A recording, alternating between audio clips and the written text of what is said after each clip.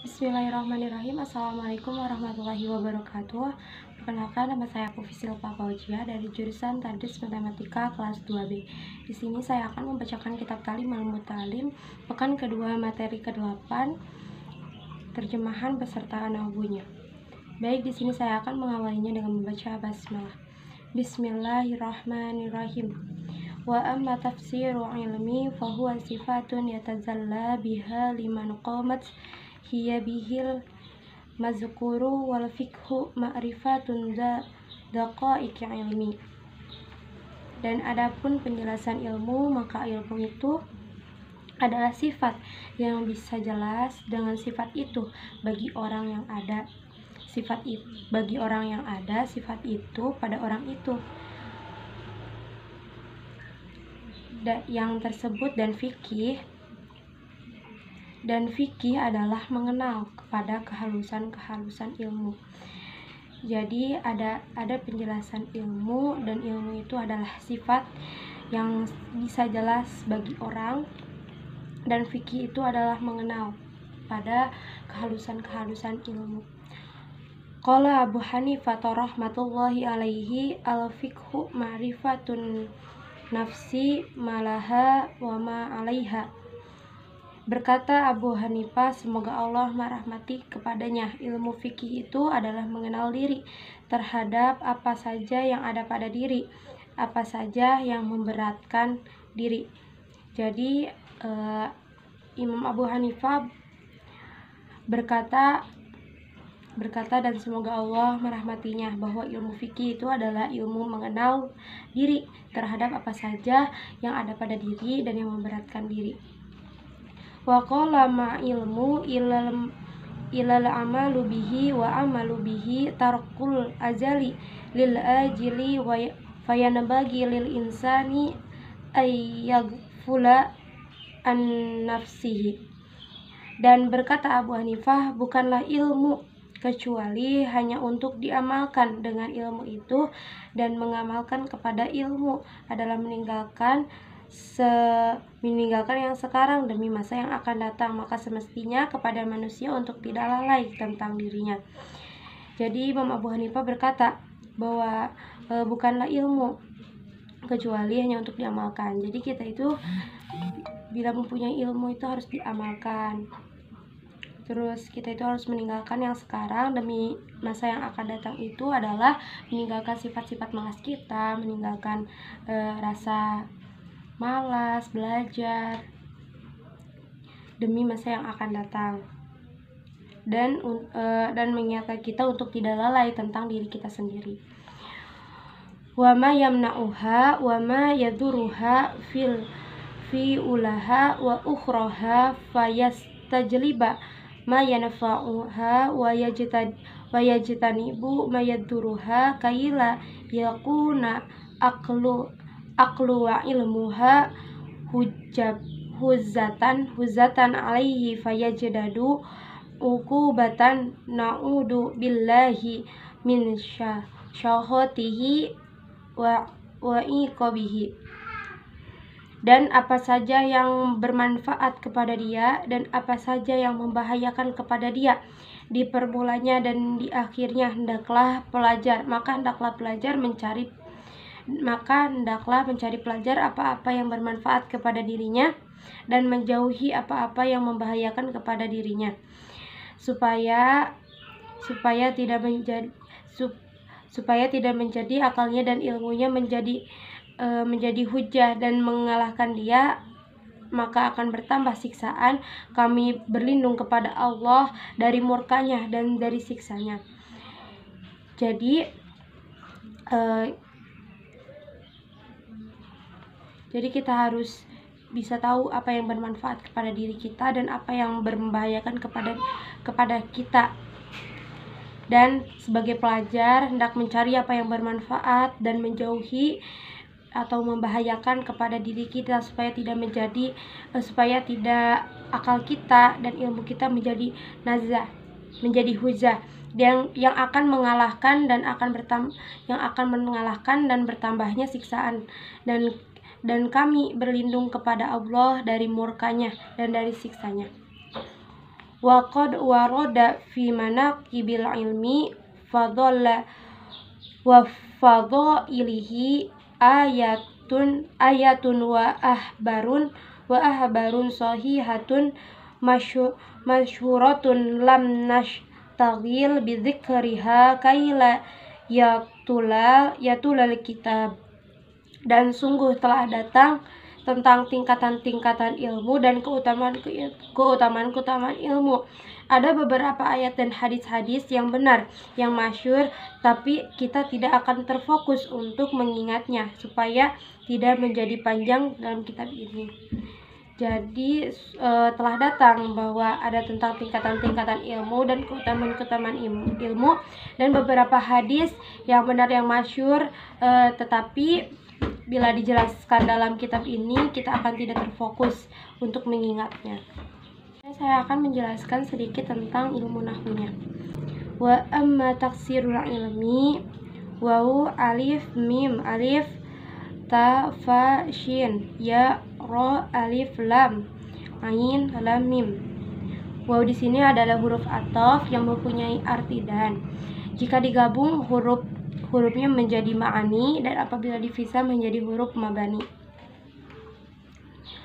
Fahuwa fa ha waw apabila dipisah menjadi huruf mabani dan apabila digabung menjadi huruf ma'ani yang mempunyai arti.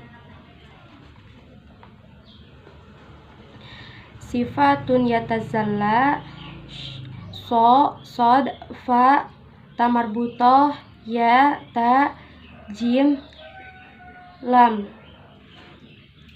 apabila dipisah menjadi huruf mabani dan apabila digabung menjadi huruf ma'ani yang mempunyai arti. Biha liman qomat ba ha lam mim nun ko alif mim ta. Apabila dipisah menjadi huruf mabani yang tidak mempunyai arti dan apabila digabung menjadi huruf ma'ani yang mempunyai arti hiya bihil ya bihil mazkuru wal fikhu. Ha ya ba ha alif lam mim zal qa wawu ro wawu alif lam fa qaf ha apabila dipisah menjadi huruf mabani yang tidak mempunyai arti dan apabila digabung menjadi huruf ma'ani yang mempunyai arti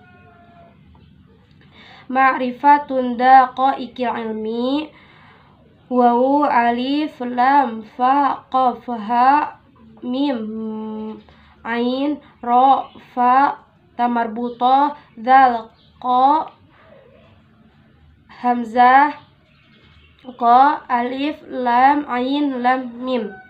Apabila bisa menjadi huruf mabani yang tidak mempunyai arti dan apabila digabung menjadi huruf mani yang mempunyai arti Qala Abu Hanifah rahmatullahi alaihi Qa Lam Alif Ba Wawu Ha Nun Ya Fa Tamarbutoh Ro Ha Mim Tamarbutoh Alif Lam Lam Ha Alai Ain La Ya Ha.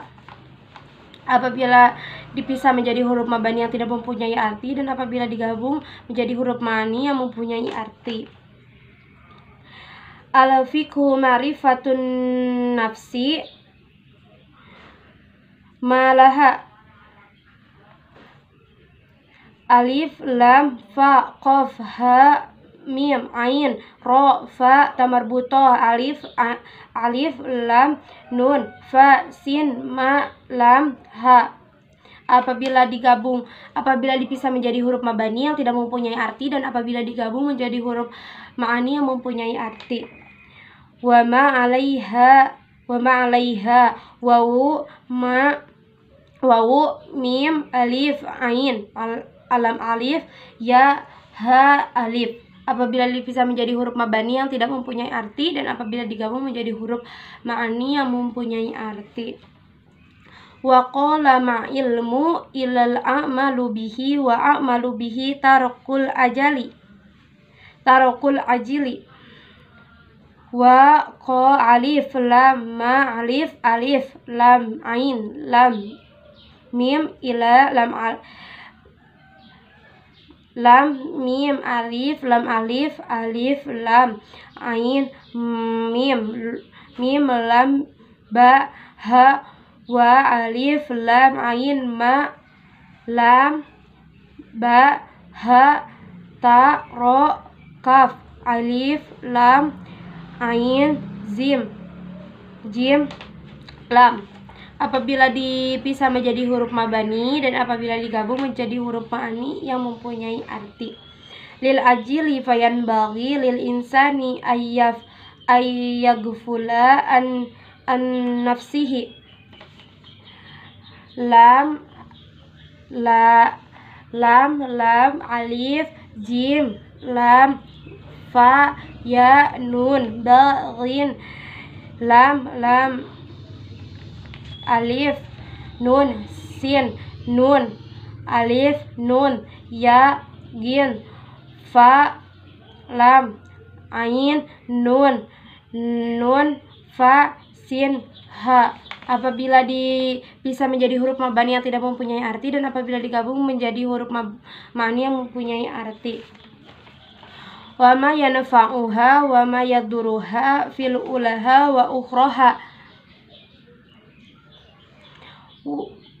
Wawu mim ya wawu mim ya ya nun fa ain ha wa wawu mim alif ya do ro ha alif fa alif wawu lam alif ha alif wa wawu alif kho ro alif ha alif apabila dipisah menjadi huruf mabani yang tidak mempunyai arti dan apabila digabung menjadi, huruf ma'ani yang mempunyai arti. Fayajita jeliba mayanfa'uha wayajita wayajitadibu maduruha fa ya sin ta jim la lam ba ma alif ya nun fa ain ha alif wa ya jim ta ji ta mi ta nun ba ma alif ya do ro ha alif apabila dipisah menjadi huruf mabani yang tidak mempunyai arti dan apabila digabung menjadi huruf ma'ani yang mempunyai arti. Kaila yakuna aklu aklu ak, akluhu wa ilmuhu hujatan alaihi hujatan kaf ya lam alif ya kaf wawu nun ain ko lal ko lam ha wawu ain lam mim hu hu min ha ha jim tamarbutoh apabila dipisah menjadi huruf mabani yang tidak mempunyai arti dan apabila digabung menjadi huruf mani yang mempunyai arti. Alaihi fayajtad fayajdadu aku batan aku batan naudzubillahi min sakhotihi wa wa iqabihi.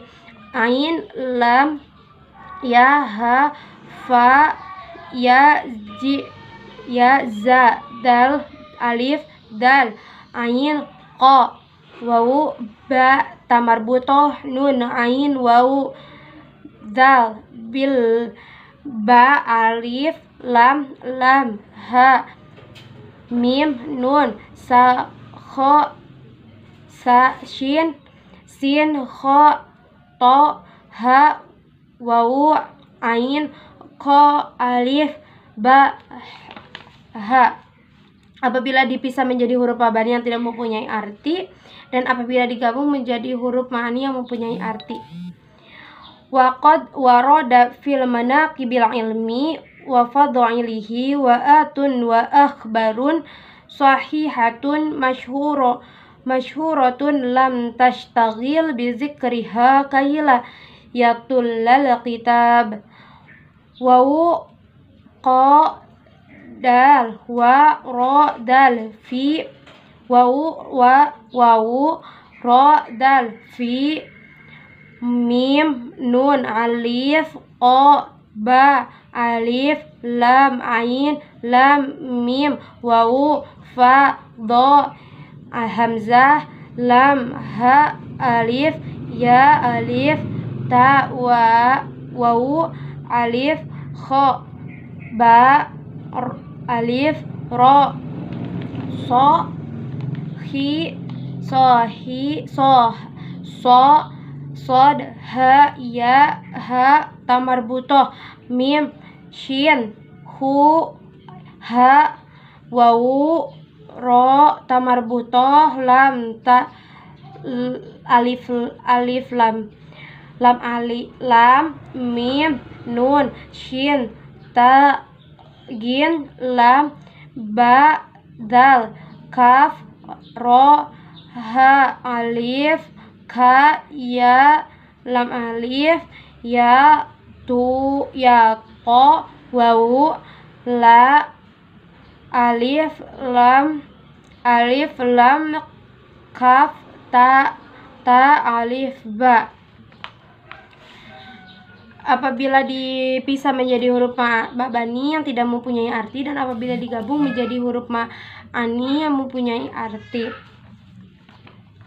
Walau walam bisawab. Sekian pembacaan kitab tadi Alim pekan kedua materi ke-8 dari saya mohon maaf apabila banyak kesalahan dan kekurangan. Wabillahi taufiq wa hidayah. Wassalamualaikum warahmatullahi wabarakatuh.